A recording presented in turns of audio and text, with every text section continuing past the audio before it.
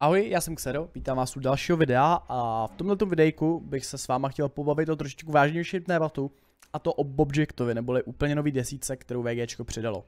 Protože já nevím, co Ivani v Minsku fetujou, ale prostě tady ten tank nemá v týře co dělat. Hnedka po intru si řekneme proč. Toto video vám přináší Game Center. Nová doplňková aplikace k App Gallery stáhnutelná na všechny Android zařízení. Do PUBG Mobile přichází nový update, který přinese vizuální rework městských částí na mapě a nový Seasonal Pass. Od 13. do 26. května mají hráči možnost využít 25% cashback akce za Huawei Points, kde se vám vrátí 25% hodnoty vašich transakcí do vaší Game Center peněženky v podobě Huawei Points, kde jeden Huawei Point rovná se jedna ve vaší aktuální měně. To znamená jedna koruna, jedno euro, záleží na vaší měně. Od 18. do 26. května si hráči mohou vyzvednout dva slevové kupony, 3 eurový při minimálně 9 utracených eurech a 7 eurový při minimálně 20 utracených eurech. Ideální pro získání nových sezónních skinů a dalších goodies. Pro více info navštivte hned první odkaz v popisu, kde vám intuitivní grafika pomůže vysvětlit vše nejasné. Navštivte také Huawei Discord, kde můžete získat dodatečnou pomoc od skutečných lidí nebo sledovat novinky ohledně nadcházejících akcí i v ostatních hrách. Object. Já ho teda nemám uh, na svém hlavním účtě. Uh, mám ho na Jariskovi, kde teda už jsem po, uh, nebo vlastně už jsem mimo bot matchmaking. Uh, tadyhle, na tom účtě Bobjecta mám. Postovkal jsem ho, teďka jsem ho poslední týden hrál na streamech, takže všichni jste pravděpodobně mohli vidět gameplay s Bobjectem. Pokud jste náhodou neviděli, tak jsou veřejný dva celý záznamy streamů s tady tím tankem, ještě určitě ho budu někdy hrát v budoucnu, takže se určitě můžete podívat. V dnešním videu se podíváme na dva replaye, ale ještě předtím si o tom stroji musíme trošičku popovídat, protože si to myslím, uh, tenhle stroj zaslouží trošičku nějaký rant. Tenhle ten stroj je, myslím si, že nebo takhle, pokud bereme v potaz high tier, pokud nebereme v potaz třeba nějaký kedně odsud, což je prostě totálně rozbitý nesmysl, který ale má jenom několik set lidí na celém serveru. Uh, co se týče high tieru, to, tady to je pravděpodobně nejrozbitější, nej, nejnevybalancovanější věc, kterou kdy VGčko vydalo. A hnedka si řekneme proč. Nemyslím si, že je úplně dobrý game design mít ve hře tank, který nejde probít. Doslova nejde probít poku, nebo s, nebo takhle, abyste probili Bobjecta frontálně, potřebujete k tomu, nebo takhle, neprobijete Bobjecta frontálně se všema tankama, to ani náhodou z desítek. Reálně, pokud nemáte, pokud vaše desítka nemá 340 plus goldovou pene, tak v podstatě nemáte šanci. To znamená, že desítky s kalibrovkama by mohly bez kalibrovek velký problém. Autoloadery desítkový TDčka, kde kalibrovky uh, jsou prostě pravidlo a uh, desítkový TDčka, který mají velkou pene, jsou schopný Bobjecta probít.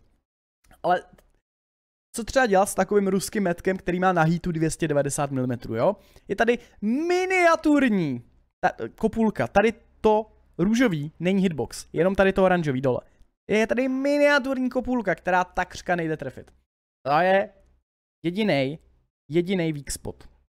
Pak taky střecha, tadyhle střecha, když se třeba trošku nad tím tankem máte dobrou pené, jste schopen uh, ho probít sem nad dělo do té do střechy, už jsem tam moc krát dostal probito, ale jenom s tankem s velkou pene. Máte tady 140 s 290 uh, goldem, o APčku se ani, ani bavit nebudeme, tak jste schopen probít Bobjecta jenom do kopulky, protože vana 330, 340 plus, spodní vana neprobitelná, upper play neprobitelný, superstruktura 340 až 350 plus, tady ty plošky neprobitelné. Pokud se samozřejmě ten Bobject nenatočí nějak takhle, což uh, je, je, je jakoby counter toho Bobjecta, vždycky si počkat, až se on nějak natočí a tím pádem zneguje úhel tady na těch ploškách. Pokud je ale hráč v Bobjectovi chytrej, tak se bude snažit podobně jako třeba s VKKčkem stát kolmo. Prostě kolmo. Ani, ani, ani takhle do boku, ani takhle do boku. Prostě bude vás faceovat takhle rovně. A pokud vás bude Bobject faceovat prostě takhle rovně, takhle, a vy máte cokoliv, co nemá na heatu 390 plus pene, tak jste prostě v prdeli jalový s prominutím a to v té hře přece nemůže být. Nemůže být ve hře přece něco, co probije, co probije jeden, dva tanky z celé bitvy. A já nevím. A můžete mi do komentářů napsat, co si vymyslíte o tady tom tanku. O tom, že VGčko přidává takovýhle stroje. Jinak uh, Object 752, ta devítka uh, z oscilační věží ruská nová, tak to je taky jako věc sama o sobě. Ten tank taky nemá na týru 9 absolutně co dělat. Ale tady, tady to nemá ani na týru 10 co dělat, to ne, nemá ve hře celkově co dělat. Uh, plus k tomu kombinujete ještě velmi slušnou pohyblivost, jedete 38 dopředu, souváte 20, což je huge. A máte uh, 9, 690 alfu. 690 alfu. Máte třetí největší alfu ze hry. Po, je, že Dead Stara, Prase, a pak je tady tohleto. 690 alfa. To znamená 835 vykřičník nebo něco takového. Šílený bomby dáváte, není problém dát 750. A když se tady ty všechny věci skloubí, tak se prostě jedná o nejvíc rozbitý tank ve hře. Nemá to v té hře co dělat. A ukážu vám dva replay, který naprosto potvrdí to, co vám tady teďka říkám. Podíváme se nejdřív tady na přístav lodí Yamato s Bobjectem full desítkový, uh, full desítkový matchmaking. Sledujte ty enemy tanky, jo. TPčko, který by heatem mohlo probít, ale bylo by to takový 50-50. Grill by měl probít, i když je pravda, že Grill má slabý heaty, takže Grill to má taky tak 50-50. Horina by neměla mít problém, Prase by nemělo mít problém, ale taková sedmice, která má 303 APC Gold Pene, tak já vím, že když, čen, že když frontálně potkám je sedmičku, tak si můžu dát takhle ruce a pokud mě neobjede, tak mě prostě neprobije. Je to jako byste potkali prostě s desítkou tier 1, taky víte, že vám nic neudělá. No až na to, že pro Bobjecta je tier 1 skoro každá desítka, nebo skoro každý tank, který nemá 340 plus uh, pene na heatu, nebo na standardní munice, ale to nemá žádný tank ve hře. A takže, takže tak, takže reálně ve hře jsou jeden, dva tanky s troškou smůly pro mě, tři tanky, kterými jsou schopný tak nějak jako s jistotou ze předu poškodit. A ani to slovo s jistotou není, není, není tak úplně pravda. Takže já jsem se rozdělil samozřejmě tady na loď. A tohle je úplně ideální pozice, protože vy pokud se dostanete sem, tak eh, díky tomu, že se docela rychle otáčíte, rychle couváte, tak si můžete předměřovat přesně mezi tady tím píkem, kam koukám, anebo prostě, nebo prostě stát tady, stát tady a koukat sem do té ulice. No a přesně o tomhle to mluvím. Uh, Jak Panzer potkám ho čelně a on pokud střílí APčka, tak uh, pro mě to je úplně zadarmo 800 nabouncovaných damage. Uh, vidíte, že já jsem mu vrátil za 765, což je takřka praserol. Tenhle ten stroj je prostě Jachpanzer, pohyblivější, lepší, který vydělává kredity, protože jste kolektor, takže vyděláváte kredity. Takže uh, já si tady budu držet uh, svoji, svoji tady pozičku, uh, vozím na tom stroji kalibrovaný náboje, protože se mi hodně často stávalo, že jsem prostě potkal s Bobjectem jinýho Bobjecta, jakož tenhle stroj má relativně slabý hity, jenom, 300, jenom 330, tak se mi často stávalo, že jsme se prostě navzájem s tím Bobjectem nemohli probít. A plus častokrát tím, že uh, chcete fightit zepředu, tak potkáte hodně opanceřované tanky, potkáte opanceřovaný heavy a ty kalibrovky moc příjemně pomáhají těm heatům. S těma kalibrovkama pak bavíme o nějakých 360-70 mm pene. Už už stačí i na ty objekty. No vidíme, že tady prase mě po druhý bouncelo, nebo snad už po třetí, mám 2400 nabamcováno, pořád full HP, sice jsem dal jenom dvě rány, ale uh, hlavně držím ty HPčka a uh, držíme tady s tou stádou v podstatě úplně celý flank na té lodi. Uh, ta bitva je taková jako táhla, zatím se tu nic moc neděje, je sedmička uh, tady docela chytře reverse sidescrapuje, což není vůbec špatný play. Ten týpek uh, bylo vidět, že má, že má v hlavě aspoň nějaký stopový množství mozku. No a tadyhle, ta IS-7 vystřelila, TPčko mi bouncelo, tím pádem mě se tam připisuje uh, na counteru 3000 nabouncované, stál jsem full HP, a teďka jsem se dostal do skvělé ofenzivní pozice, kde střílím tu IS-7 na pás, uh, povedlo se mi ji i zapálit a on opět, je to IS-7, viděli jste, že mířil na tu kopulku, dodžnul jsem to, ale on, kdyby tu tref, kdyby tu kopulku, nebo takhle, aby mě probil, potřeboval by trefit jenom tu kopulku. Takže to, že jsem se tady prostě postavil na open před IS-7 vůbec nevadilo, protože jsem věděl, že on mě nemá jak probít. No a tady s tím TPčkem to bude v podstatě stejná pohádka, kdy já na ně prostě najedu, Zapnu si reaktivní, což je věc, kterou jsem úplně zapomněl zmínit. Tady ten tank, aby náhodou nebyl moc, moc broken, tak má ještě reaktivní armor. To znamená, když už vás někdo probije a vy to zapnete, tak vám dá prostě o 20% menší alfu. Prostě, prostě co to je. No a najíždím tady na TP, kdyby mě náhodou probil, mám tady ready tankstny. Vidíte, že při zajíždění a celkově s tím tankem se hodně vygluju. Chcete se vyglovat? Uh, chcete se vyglovat, ale zároveň opatrně, abyste nepřeuhlovali právě tady ty boční pláty. No a TP vyřešený, mám 3,5 tisíce damage, 3000 nabouncováno, stále jsem full HP. No a tadyhle to už uh, jenom bude dočišťovací práce na tu IS-7. A podle mě tady pěkný, pěkný snapshot, 675 uh, damage a i tak to byl low roll. No a prostě ta sedmice teďka nemůže nic. Uh, vidíte, že co se týče pohyblivosti, co se otáčení týče, taky to není vůbec nic špatného a já jsem tady tu bitvu skončil s třema půl tisícema nabouncováno a full HP. Full HP a to do mě střílelo půlka týmu. Prasata, bouncové TPčka, bouncové zleva, zprava, takhle.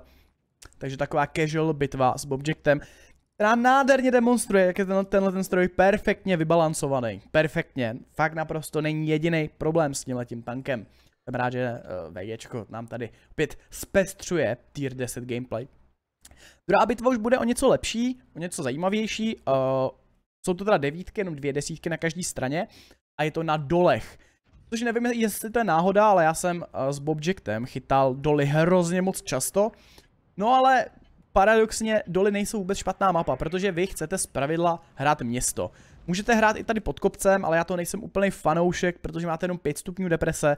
Když hrajete na tom kopci, hrajete na close, to znamená, že lidi, co mají mozek a nabitý goldy, tak vás jsou reálně schopní zblízka trefovat do té kopulky. Takže já jsem zastánce města tady na této mapě s Bobjectem, samozřejmě taky záleží na týmu, ale v tom městě se schopný podržet, jste schopný v podstatě nedovolit enemákům to město propušovat, pokud uh, tady nezůstanete 1v4, nebo prostě celý tým tady nejede, dostanete double track a GG. I to se může stát. Každopádně, tady té bitvě se to nestane a tady tu bitvu opravdu silně doporučuji dokoukat do konce, protože to bude opět skvělá ukázka toho, jak je ten stroj úplně v pořádku balancnuté, jak v týře hodně má co dělat.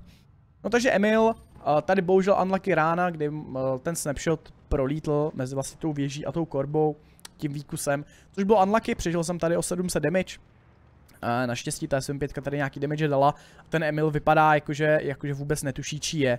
Uh, nevím, co si myslel tady tou ranou. Uh, já si počkám, až vycouvá a bez problému naběž mu tady landnu ránu za 690. Takže uh, už tady máme hnedka první damage. Uh, to je taky další věc. Vy se nějak jako nepotřebujete nadřít, abyste, abyste s tím strojem jako dali třeba 3000 damage. Abyste dali 3000 damage, tak vám stačí 4krát s trošku štěstí, 5krát, 5krát probít a máte 3k damage. Uh, z nějakého důvodu jsem s tímhletím strojem jsem ho ostovkoval na docela hodně špatný staty, asi jenom 3100. Nevím čím to je, možná to je tím, že jsem uh, s tím strojem hodně jako joloval, eh, vždycky po nějaký bitvě, kde jsem nacinkal 5000, tak jsem si řekl, hm, tak já přežiju všechno. Najel jsem mezi čtyři enemy tanky, tam jsem třeba nějakým způsobem umřel. Tady to jsem pětka. Prostě nechtěl mě pustit. Zakázal mi projet. Uh, takže Pravděpodobně mé výsledky s tady tím strojem byly zapříčiněny mým špatným gameplayem. Nemyslím si rozhodně, že to je tím, že by ten stroj nějakým způsobem neměl potenciál na to uh, dávat damage. Spíš uh, já jsem ho špatně hrál. Ten stroj jsem pochopil až tak při těch 60 bitvách jsem začal mít konstantně třeba ke 4000 uh, sessions. Každopádně, uh, teď jsem se tro trošičku zakecal, uh, když se vrátíme zpět k té bitvě, tak skoro 2-2, Enemy Sheridan teďka najel na to Tortoise, no a já jsem mu pomohl tou ranou. Uh, já jsem to, tomu Tortoise pomohl ranou do toho Sheridana, byl na ránu a ten Tortoise ho dopl. Takže uh, teďka aktuálně jsme to uh, trošičku tak začali vyhrávat. Na Češ jsme hnedka opět uh, srovnali, nebo enemy team srovnal, protože tady 50 dala kill uh, na to Tortoise a tady myslím si, že přijde hodně špatná rána, kdy já jsem bouncenul tu E50 a nechal jsem si dát velmi hloupě ránu do boku toho VKčka, což není vůbec dobrý. A taky není vůbec dobrý, že město, naše město pušuje uh, enemy object, které je ze Sanity, takže já předpokládám, že ten člověk bude mít trošku mozek a měl jsem z to enemáka trošku respekt. 810 roll. 810 roll na to, že nabíte s kalibrovkama Jo, a teďka nechci kecat nějakých 14 něco, 15, 15, 2. Nabíjte 15, 2. Uh, ale prostě, prostě ta alfa je úplně šílená. A tady, sledujte tady tu situaci. Najíždí na mě 50 do boku a bouncuje, protože aby toho nebylo málo, tak máte ještě Space Armor. Tady to celý je Space Armor. Takže tam, když střílíte, je hrozně, hrozně velká šance, že vás enemák uh, bounce přesně jako teďka ta 50. Já vím, že ta 50 vystřelila a vím, že to, že vím, že to VKčko ne, takže jsem se pořád chtěl, pořád jsem chtěl faceovat tu veku a já jak úplný idiot jsem si nechal dát druhou ránu od toho VKčka. Řekl jsem si, že by bylo hrozně cool si zabít uh, tu 50, kterou jsem měl uh, na roll, že se mi naštěstí povedlo, bohužel enemy VK má tungstny a dal mi tady třetí ránu, to znamená, že tady to VKčko mě zredukovalo o 15 HPček like this.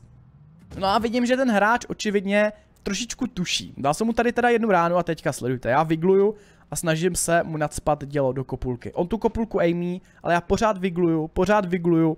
Už mám skoro nabito, už mám skoro nabito a stíhám dobít tu ránu a zastřelit to VKčko. Takže uh, jsem tady tu situaci vyřešil, uh, ale velká škoda, že jsem dostal ty tři rány od té veky, protože to mělo být plus minus 15 HPček navíc, který, který mi teďka budou hodně, hodně chybět. Dostal jsem se do 1v2 situace, ale mám pozici. Mám pozici a mám kopec. Což je, což je úplně skvělá věc, protože na kopec je pouze jedna příjezdová cesta a to tady. Enemy object píkuje, já mu dávám hitem ránu, dávám mu teda docela low roll, takže nevím, co by se muselo stát, abych ho, abych ho teďka abych ho teďka probil, respektive zabil, uh, o probití nejde, já ho probiju, ale uh, vidíme, že týpek, vidíme, že týpek tady má prokamo, takže uh, to opravdu nebude uh, žádná lopata. No a uh, teďka mi bylo tak nějak jasný, že umřu. V podstatě teďka jde jenom, nebo jemu stačí mi dát hečko. A já jenom teďka čekám, jestli mi někdo píkne, jestli bych mohl si dát ještě nějakou ránu. Uh, naše E50, samozřejmě 8000 ven, 8 hráč. Uh, radím, jak to mám dělat. Uh, enemy Object dává za 0 hečko, já dopínám, toho myšna, ale bohužel teďka uh, je, je už úplně jasný, že on když vystřelil dřív, tak bude mít i rychleji nabito. Já zkouším faceagovat, kdyby ještě náhodou třeba do mě bouncnul jedno hečko. Uh, bohužel, už mám skoro nabito, ale on to hečko, on to hečko landuje a zabíjí mě. Takže já tady tu bitvu prohrávám, uh, na countru nějakých 6000 damage, ale opět tady bylo vidět, co jste schopný s tím Bobjectem uhrát. Jedna v, jedna ve dva situace, není absolutně žádný problém. Armor, šílený, alfa šílená. No prostě tady ty dvě bitvy jsou myslím perfektní ukázka to, že ten tank prostě není v pořádku. Uh, určitě budu moc rád, když mi do komentářů napíšete váš názor na Bobjecta, co si myslíte o tady tom stroji, celkově o tom principu, že uh, VGčko přidává takovýhle, takovýhle tanky uh, do hry, protože je to špatně, je to špatně a Bobjack nemá ve hře co dělat. Takže tak.